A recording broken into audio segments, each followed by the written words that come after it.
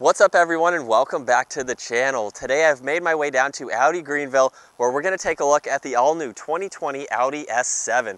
Huge thanks to them for providing this car for me today. Definitely check out their website. That will be down in the description below. This model here is finished off in Ibis White. It has an MSRP just over $96,000. It's basically fully loaded as you'll see in today's video. And also don't forget for January, we are giving away a GoPro. More details on the giveaway will be later in this video. Underneath the hood of the 2020 S7, this has a completely new engine. The previous generation had a 4-liter twin-turbo V8. This has a 2.9-liter twin-turbo V6. It also has a 48-volt hybrid system along with an electronic supercharger as well. This makes 36 more horsepower than the V8, so it's a lighter engine and more efficient. This is also paired to an 8-speed Tiptronic automatic transmission, and you can shift using paddle shifters on the steering wheel. This engine produces 444 horsepower and 443 pound-feet of torque. It is all-wheel drive. This vehicle weighs around 4,600 pounds. It'll do 0 to 60 in 4.5 seconds with a top speed of 155 miles an hour. And with a fuel capacity of 19.3 gallons, you can expect to see 18 miles per gallon in the city and 28 on the highway. This has an overall wheelbase of 115.3 inches. Its length measures 196. The overall width is 83.4 inches and it has a height of 55.8 inches.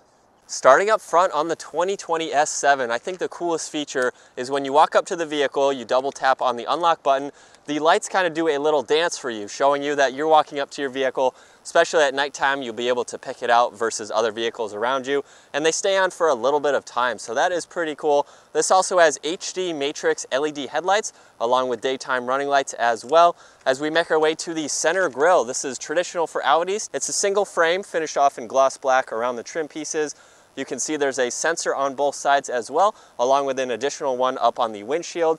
You have the chrome Audi badge in the center along with a forward-facing camera. There's six parking sensors that run throughout the front bumper as well.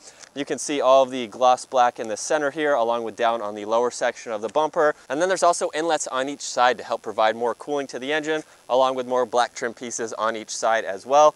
And then as we make our way to the hood, you can see there's four distinctive lines kind of all coming down to a point, which is really nice to see. Gives it a really great look. Moving on to the side of the 2020 S7, this is where we get to see all the options that are added onto this particular model. Starting off with the black optics package. That blacks out a lot of the trim pieces like you saw in the lower section of the front bumper. We have the power folding side mirrors that are finished off in gloss black. They're heated and feature the integrated turn signal. And then you can see all the trim around the windows as well. This also has the S Sport package, which gives you that dynamic steering, as I already mentioned, and it gives you the red calipers both in the front and the back. Along with these 21 inch wheels, they have a five V-spoke pattern to them, a two-tone finish as well, gives them a really nice look. Overall, the side profile of this vehicle has a nice look to it, especially with the hatchback design, just gives it a very nice flowing shape to it. You can see there's some distinct lines in the side as well. One just under the mirror here, it runs all the way through the door handles and kind of divides in the back here to another line just underneath the gas cap. And then you have a nice flowing design and lines down at the bottom section. And finishing up on the 2020 S7, we'll start off with the LED taillights and the LED turn signals. You can see they have a nice animation to them. They start from the center of the vehicle and work their way out, just gives it a really nice look. And the fact that this bar runs through the entire rear trunk lid here just finishes off the car nicely with that. This has your stand-up backup camera with parking sensors. There's really clean lines in the back here. Then as we move our way down to the bottom, you can see little contours in the diffuser there. And then as part of the package, this does come with the sports exhaust.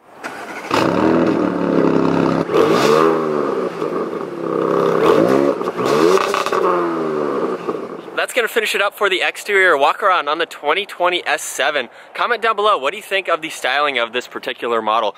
I really like it with the black optics package. It makes it very subtle. It's white with black accents everywhere, so it doesn't stick out, but it still has a nice clean design to it as well. But let's go ahead and take a look at the interior now. I have the vehicle locked and the key in my pocket. I'll just place my hand on the door handle and it will automatically unlock. Starting off on the door panel, you can automatically tell that the interior of this vehicle is top notch. There's Alcantara on the back side here above your leather armrest with silver stitching that runs the entire length.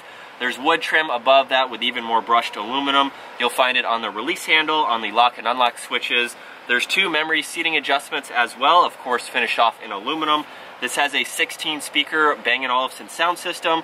You have plenty of storage space in the lower section of the door, along with an electronic button for the rear hatch. You have all of your adjustments for the side mirrors. Your window controls are even finished off in aluminum buttons as well. Now that we're behind the seat of the 2020 S7, let's start off with these Valcona leather seats. They have great bolsters to them. You can see the attention to detail with the stitching that runs down them. The S badge is in the top here. These have a 12-way adjustability along with 4-way lumbar support. You can even move the front section of the seat forwards and backwards if you would like to. As we move to the steering wheel now, that is the next thing that is in a great spot.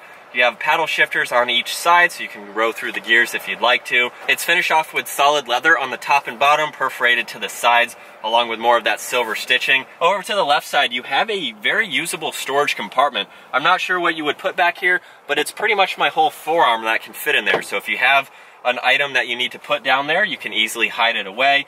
You have all of your controls for the lights along with more trim pieces, more brushed aluminum, and one air vent. So going back to the gauge cluster here, you can see it's all digital. This is Audi's virtual cockpit. It's about 12.3 inches.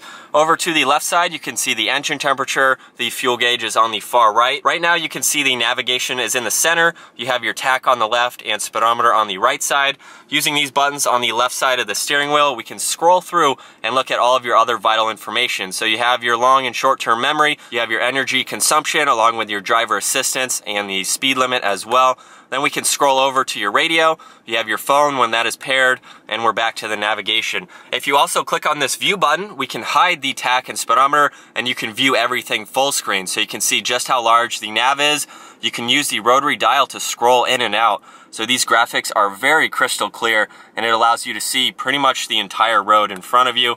We can scroll over again and look at all the other vital information. And then over to the right side is all of your Bluetooth. You have a customizable button. So if I push on that, you can have it to your voice guidance, your day and night map lights. You can configure it how you would like to. You have your volume and tuning for the radio. As I mentioned earlier, the entire dash is covered in leather and stitching. You can see that little spot there is for the heads-up display. As we make our way to the center, you'll see two air vents, along with more of the wood trim and brushed aluminum. And this top screen here measures 10.1 inches. You have a lot of information that you can go through. As you can see, there's the radio, media, your phone, and navigation. If we click on navigation, you can have it pull up here. You can swipe over to some other information.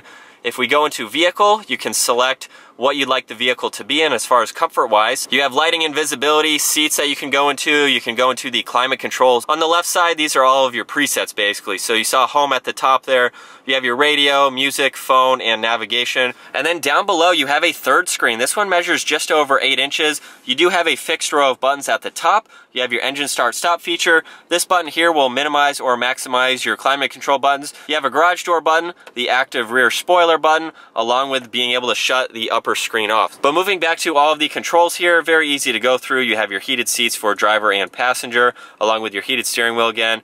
If you push on these three buttons in the center, that will bring up functions for the rear. You can see that up top. You can go to the rear and adjust everything there. You have your drive select, so you can go through what I showed earlier. You have your traction control, hazards, and some other recirc buttons. Moving behind that, you have the engine start stop button on the left side. We have the parking sensors and camera button right there. So if I pull that up, right now we're looking at the forward facing camera with the top down view on the right side. We can click on this here and control the different angles. So now we have a wide angle with lines in the front. You can see basically just the entire vehicle right now. We have the backup camera with the wide angle backup camera. You can see where the front wheels are placed and where the rear wheels are placed. And then clicking on 3D, we can scroll exactly around this and see everything around the vehicle. You can see my Tacoma right there off into the distance. Very cool the graphics on that. That is exactly what my truck looks like right there. So that is awesome to see. You have this button over here, which is your driver assistance. You can control that basically basic, individual, and maximum. Then you have your power and volume off to the right. Moving behind that, we have the shifter. The trigger on the left side is how you will engage it. We can go all the way up for reverse. You'll see the backup camera light up. All the way back is into drive, and you can pop it over into manual mode. And then putting it into park, you just push on the P. It'll automatically go to the center position, and you are all set from there. Behind that, we have the electronic parking brake, along with two cup holders and a 12 volt. As we make our way to the center, you can see all of the leather and stitching on the armrest. we go ahead and open that up, you'll see two USBs in the back along with a wireless port. And I like the fact that this will stay in whatever position you have. So there's some tension to it. It won't just slam closed, which is very nice to see. And then moving over to the glove box, you'll see you have plenty of space for anything that you need to place down there. We'll take one last look at these seats. Very nice stitching and leather. And then as we make our way up to the top, this has a sunroof. All those controls are up in the center along with all of your dome lights. All right, so now making our way to the back seats in the 2020 S7. Very nice attention to detail on the leather, just like you would find up front. You have all the stitching, very nice comfortable bolsters. They're not too aggressive for a back seat, uh, but they give you a little bit of support. As we look at the center armrest here, you'll see that there's a little bit of storage on the back side of it. And then in the front, you'll see two cup holders. So you have two cup holders for the rear passengers. And then what we can do is pull up underneath this headrest and fold this seat down. So there's a 40-20-40 split if you need anything to go through and have two additional passengers. As far as the overall legroom and headroom goes, I have the front seat set at my height 5'10". My shoes are nicely underneath the seat and I have about four or five inches in front of my knees. And then I have about an inch or two above my head. So I would say with the design of this vehicle, how the roof kind of slants back, you still have additional headroom in the back. So it's not too tight or anything like that. You can definitely be back here. As we move to the controls for the back seats, these are heated seats, so you have the option to do that. You have all of your temperature controls. You can just swipe on these up and down along with your fan speed. And then, of course, turning on the heated seats where you'd like the air to go. This vehicle has a four-zone climate control system, so the back passengers get their own, which is really nice to see. There are two USBs and a 12 volt as well. You have plenty of visibility out of the back glass. There is even a shade that you can adjust manually, just pulling that up. We can put that into place if you want to block any of the sun. And last up, we're gonna go ahead and take a look at the rear storage space. So I can just push on an electronic button up underneath Audi. It will automatically open up. With the hatchback style design, there is plenty of space in the back. Even with all the seats folded down, that just opens it up for much more items that you can place in the back. You do have the option to remove this, so if you need that additional space, you can easily take that out. You have a compartment over to the left side with a net. There's also a tie-down net in the center. This does have a spare tire up underneath. All right, so now it's time to get the 2020 S7 out on the road. One thing that I didn't mention earlier is that this has soft closing doors. So if you accidentally forget to close it all the way and you just kind of get it locked, it will automatically do it for you. So that is nice to see. You don't have to open the door and slam it again, which is pretty cool. So let's go ahead and get this out on the road now. The first thing that I'll go over while we're still in the parking lot here is just the general visibility. I like the hatchback design. I've always been a fan of that. Not only is it practical for extra storage space, but it does give you pretty good visibility. There's hardly any blind spots because the pillars back there are very small. So even over my left shoulder there, a quick look, I can easily see back that way. And then the glass on the back is obviously large since it, since it has that hatchback style to it. It's just such a premium feeling vehicle. It has pretty much all of the options you would want in an S7, but the interior, no matter what interior you get, they are all just gonna look very, very nice. The aluminum, the wood, the leather, it just gives it a really nice feel. If you're looking for a comfortable daily driver, but you don't want like the sportiness to it, if you went with the RS7, that's a little bit more raw feeling. You just want something that's comfortable, you can drive every day. The S7 is definitely a great option. Let's go ahead and I'm gonna use the paddle shifters now. Wow. So it's still pretty quick. It's not very loud on the outside, but this does have extra insulation to keep it very quiet on the inside. So there's hardly any wind noise. There's no road noise. Right now I am in dynamic mode. So you can definitely feel the bumps a good bit. But if I go ahead and put it into comfort now, hopefully that camera is shaking less. It's absorbing all the bumps very well. Uh, for the sake of the video, I'll keep it in comfort mode. But dynamic, it's nothing harsh, it's not crazy. I'll go ahead and switch back to it real quick. You can feel the whole car just shift into, like it lowers down a little bit, it gets nice and tight for turns or back roads or something like that. You still have the performance aspect to be able to do that. It's just not as raw feeling as an RS7 would be, for example. Let's go ahead, I'm using the paddle shifters. Go down to second. So we're in dynamic mode. Wow. You still have that performance. It's awesome to see that. Give it a little bit of gas in automatic mode. Wow. it's a fast car. It's quick. It's it's a fun daily. I could see this being a really useful daily driver. You want a, a little bit extra than just a normal sedan, but you don't want to go too raw and just make it that next step. So this is a nice in between. Has everything that you need. It's a very nice car to drive. It's super comfortable. I love these seats. Hopefully you guys can hear that exhaust just a little bit. It has a good tone to it but it's not overly loud at the same time. You can hear that. Wow.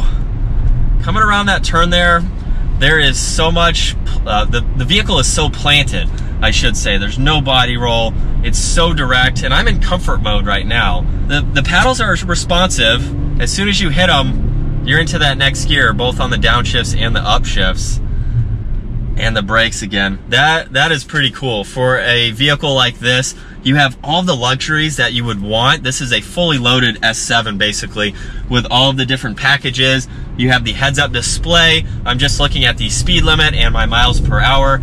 You have all the information in front of you with the three screens as well. It's laid out super well. It's very intuitive. You can hop in this five minutes. You'll be able to go through everything. So once again, a huge shout out to Audi Greenville for providing this vehicle for me today. I will have all their contact information in the description below. And for your chance to win the GoPro, all you have to do is be a subscriber to our channel and comment on videos. At the end of January, we're gonna pick the video with the most comments and pick a random winner from that video. So it doesn't matter what video you comment on, the more comments or the more entries to be able to win the camera. So that's all you have to do, be a subscriber and comment on our videos. We love engaging with you guys and commenting back, seeing whatever the comment is. Uh, it's always fun to interact with you guys. So that's all you have to do for the giveaway. So if you enjoyed this video, give it a huge thumbs up, smash that subscribe button. We'll see you guys in the next video.